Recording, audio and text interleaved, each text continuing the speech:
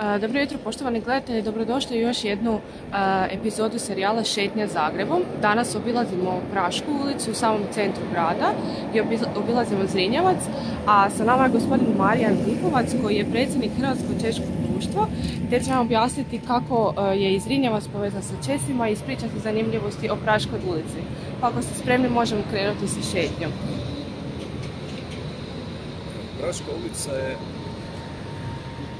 jedna od najpoznatijih zagrebačkih ulica jer se nalazi u samom središtu Zagreba, na vodu Trga Bana Jelačića prema Zrinjevcu. I ono po čemu je zanimljivo, to je jedina ulica u samom centru Zagreba koja nosi ime po jednom stranom gradu i to po Pragu. Mhm. Zapravo malo ima ulica u centru grada koja se zove po gradovima. Idemo je Petrinska, mm nedaleko odavde, koja je dobila ime, a to je vodi prema Petrinji. mm Odnosno vodila je, sad više ne vodi jer je jednosmjerna, smjeru jug-sjever. mm Ne može se Petrinskom doći do Petrinje, može samo obratno i druga koja imamo u centru Zagreba, ali malo dalje od ovog najužeg centra je Varšavska ulica, ali kažem, u samom strogom centru Zagreba jedini grad, strani grad koji ima svoju ulicu, to je Prag, po njemu se zove Praška, što možda neki ne znaju, kad čuju riječ Praška, ne padne na pamet da se ono zove po Pragu. Ima je dobila 1928. i ona zapravo simbolizira na neki način i hrvatsko-češke veze, koje su bile jako bogate, i upravo to Zagreb i Prag imaju bogate odnose također od mhm. nekada oko Praške sveučilište na kojem su mnogi Hrvati studirali. Prema tome nije slučajno da jedna ulica u samom središtu Zagreba nosi ime Praška. Ona mm će probira 1865. kad su spojeni trg Bana Jelačića i tadašnji novi trg, odnosno kasnije Zrinjevac, i dobila je ime po Mariji Valeriji, zvala se ulica Marije Valerija, to je bila najmlađa kći Franja Josipa. mm Onda nakon 18. godine, kad su se micali ovaj, nazivi koji su bili vezani za Strugarsko, dobila naziv Štrosmerova. mm a onda kad je Strossmayer 25, 25. godine dobio svoj trg u Zagrebu, iza palače Hrvatske akademije znanosti i umjetnosti, koji sad zvao Akademički trg, pa je dobio Strossmayerov trg, onda je ova ulica dobila 28. godine ime Praška. Onda za vrijeme NDH, kada je ime, ime Praške bilo promijenjeno, jer se znalo da se ta ulica simbolizira zapravo Hrvatsko-Češke vezano su tadašnje veze Jugoslavije i Čehoslovačke, iako je Pragu doba njemačke okupacije, su ga Njemci, Hitler, dakle, smatrali starim njemačkim gradom, ali ustaške mhm. vlasti su znali zapravo zašto se Praška zove, ne zbog Njemaca, nego zbog Čeha i vezala sa Česima i promijenili su ime Praška. Ulicu Stipe Javora, Stipe Javor je bio jedan borac za samostalnu Hrvatsku, koji je na ropi u Sremskoj Mitrovici, koji je zaslužio dakle ulicu, ali je na uštrb Praga. Međutim, su promijenili ime Praška, ulicu Stipe Javora i 45. opet vraćeno ime Praška koje nosi do danas. Praška najpoznatija po sinagogi koja se tamo nalazila, 1866. do 1941. kad su srušile ustaške vlasti. Srušili su s obrazloženjem da se ne uklapa u srededbenu osnovu. A jel, e, znate gdje je točno bila ta sinagoga? Da, tamo tamo ono gdje je sada parkiralište. uh I vode se već 20 godina. Naime, naime, vode se već 40 godina skoro rasprava da se ponovo sagradi sinagoga. uh i židovska općina, židovska zajednica 80. godina zatražila od tadašnjih komunističkih vlasti da se ponovno sagradi sinagoga, ali bilo odbijeno jer se ne uklapa u urbanistički plan. Dakle, mm srušena jer se ne uklapa u sredbenu osnovu, kaže ustaške vlasti, a komunistički kažu ne uklapa se u urbanistički plan. Mm-hmm. Dakle, samo drugčija terminologija. mm To zemljište je, koliko znam, vraćeno židovskoj zajednici, međutim, treba nesuglasiti kako bi se ta rasprava, kako bi ta sinagoga, kako bi se obnovala, kako bi trebala izgledati, da li mhm. obnoviti u originalnom obliku, ili nešto drugačije, tako da nažalost to je prostor je prazan i Zagreb još uvijek nema svoju sinagogu. Mm-hmm. Dakle, gledajte, nije znači, židovi nemaju svoju sinagogu, da Zagreb nema svoju sinagogu. Tako da, mm bilo bi dobro kad bi se ponovo sagradili na tom mjestu u nekom obliku, ili originalnom ili drugčije. Ili e, jel postoje sačuvani neki nacrti kako je izgledalo? Da, postoje fotografije, nacrti i dijelovi, čak neki kameni koji su sačuvani. Mm-hmm. Mislim, kako znam iz sinagoge. Tako da, ali kažem, to je prije svega na židovskoj zajednici da oni odluče kako će ta sinagoga se obnaviti i hoće li se obnavljati. uh Sad smo evo na Zrinjevcu, koliko vidim. Kad smo počeli sa češ pričama o hrvatsko-češkim vezama, onda je Zrinjevac također se u to uklapao jer njega je projektirao Rupert Melkus koji je bio zagrebački urbanist, zagrebački, znači gradski inženjer kako se to zvalo, uh-huh. 1869. do smrti 1891. Zrinjevac je prvi trg u sklopu zelene potkove koja se prepisuje Linuciju, zove se Milan Linucija Potkova ima, ima osam tih zelenih površina, znači trgova iz Botanički vrt, ali prvi trg koji je napravljen nije napravio Lenuci, nego Rupert Melkus. Ali, kažem, njegov nasljednik Lenuci ga je zasjedio. I trg je uređen, on je, e, Rupert Melkus je došao u Zagreb 1868. i 69. je predložio uređenje ovog trga, napravio nacrte, Mhm. to je nekad bio već stočni sajam. I onda, a ime, ime Nikola Šubića Zrinski je dobio 1866. kad se slavila 300. godišnjica njegove pogibije, odnosno Sigetske bitke.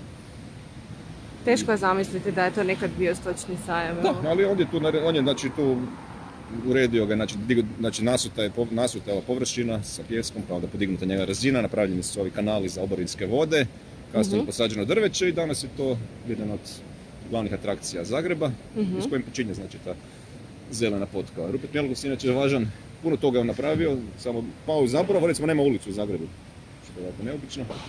Ali koliko je, nije jedini koji nema, puno zaslužnih Zagrebčana koji nisu dobili, on je recimo trasirao Donje gradske ulice Mhm. ove koje je po Donjem gradu je on trasirao i on je projektirao Mirogoj. Mirogoj se isto, zasluge za Mirogoj je preuzeo Herman Bole, ali on je autor samo Arkada i crkve Krista Kralja. Ali ova polja koje leže iza, znači gdje gdje je većina Zagrebčana koji počivaju na Mirogoj gdje počivaju i mrtvačnicu, to je projektirao Rupert Melkos.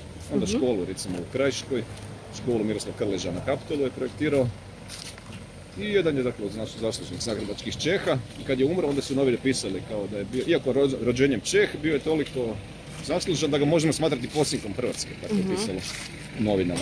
Bilo bi dobro kad bi se u javnosti ovaj, malo više o njemu pričalo i govorilo jer je zaslužan. Poznati su drugi Česi koji su bili arhitekti u Zagrebu, Miroslav Bastel, koji je govorio o secesiji u Zagrebu, Lav Kalda, koji je među osobnim projektirao zgradu Hrvatskog sabora. Su to bilo više autora, ali on je autor te konačne izvedbe zgrade Hrvatskog sabora. Inače, Markov trg, tamo su tri, tri najvažnije zgrade su graditelji iz Češke zapravo bili uključeni.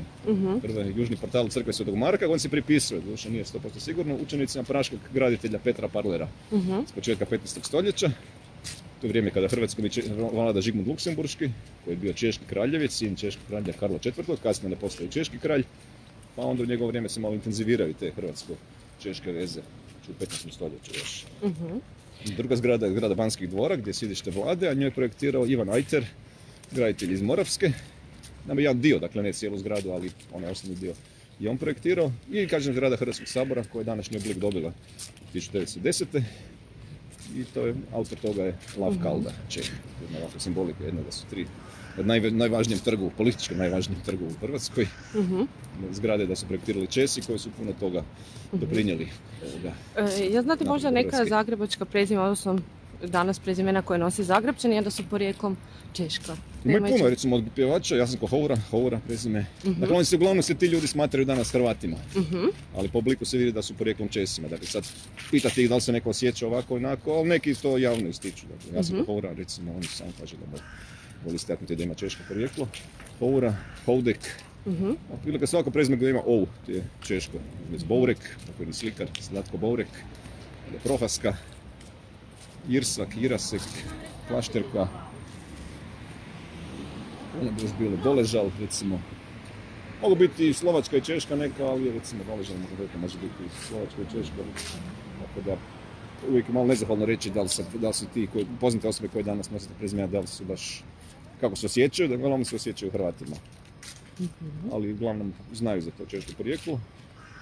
I ponosni su na njega, ljudi koji imaju češko porijeklo, uglavnom se ponose time jer Česi imaju dobro, dobro, dobar glas ovdje u Hrvatskoj, su izgradili svojim doprinosom ra- razvoju Hrvatske, ne samo Zagreba, nego i drugih sredina, pogotovo zapadna Slavonija, oko Daruvara, gdje su e, dali važan doprinos baš u unapređenju poljoprivrede i opće podizanje nekom društvenom, kulturnom, civilizacijskom tih krajeva. Ali ima ih i drugdje, ima ih i po obali, recimo. Češki arhitekti su gradili puno tih hotela po Jadranskoj obali. Znači, značili su opće za početak turizma u nekim mjestima. Od Baške pa sve do Kupara, do Dubrovnika. I o tome se u zadnje vrijeme malo više piše, jer su Česi, evo, kad je bio lani, kad je pandemije, da su češki turisti bili ti koji su, kad je malo bili neki pozitivni pokazatelji, rekli da će doći i ove godine, odnosno prošle, na more i došli su u velikom broju, pa se onda malo više pisalo o njihovim zaslugama za razvoj turizma. I ove godine su došli broju, imali su poseban vlak i lani i ove godine koji ih je dovozio na Jadran, tako da hrvatsko-češke veze, to je jedna od njihovih karakteristika je da su, ne samo što su jako ovako bogate na svim područjima života, nego se pokazuju u dobrim i u lošim trenucima. Tako da to se pokazalo onda i, i prošle godine i ove godine. Evo samo, jel možete e, za gledatelje koji su se malo kasnije priključili, samo ponoviti zašto šećemo Zrinjevcem i kako je Zrinjevac e, povezan sa Česima? Dakle, Zrinjevac je povezan s Česima jer je projektant Zrinjevca, kao parka, Mhm. je bio Čeh Rupert Melkus, koji je bio gradski inženjer, kasnije predsjednik građevinskog ureda, od 1869. do 1891. do svoje smrti. Mhm. I to je dakle ta poveznica vezana uz, uz Čehe i Zagreb, a tih poveznica ima naravno puno više. Mhm. A, prošetali smo ranije i Praško. Da, A- Praška je simbolička, dakle Praška ulica dobila ime po Pragu, što možda neki Zagrebčani ne znaju. Kad, kad čuju riječ Praška, ne zazvonimo odmah Prag, da je praški pridjev od Prag. Ne? Mhm. A ima dakle simbolike kad govorimo o hrvatsko-češkim vezama, da jedina ulica u strogom centru Zagreba koja nosi ime po nekom stranom gradu je upravo Praška. Odnosno Prag je jedini strani grad koji, koji ima svoju ulicu u centru Zagreba. A inače u Pragu postoji Zagrebačka ulica. I u centru te ulice čak ima jedna fontana. Ovako, tako lijepo, koliko je lijepo sad to je pitanje. Ali eto, baš fontana je kao jedan novih simbola Zagreba ili nekih njegovih dijelova, bivšeg gradonačelnika. Eto, simbol Zagreba, a u Zagrebačkoj ulici slučajno se eto nalazi fontana, Mhm. kojemu je ovdje na Zrinjevcu. Evo, poštovani gledatelji, hvala vam što ste bili s nama u još jednoj epizodi Šetnje Zagrebom. Evo, danas završavamo na Zrinjevcu, ko nam je bio gost iznenađenja i o čemu smo pričali možete pogledati od početka samog videa. Budite i sutra sa nama. Lijep pozdrav!